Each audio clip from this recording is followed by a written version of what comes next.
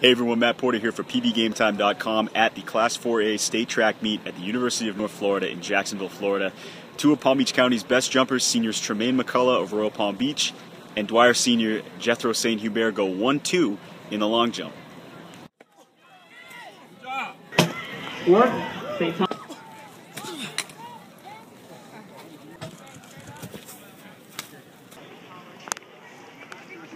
Great. It was great.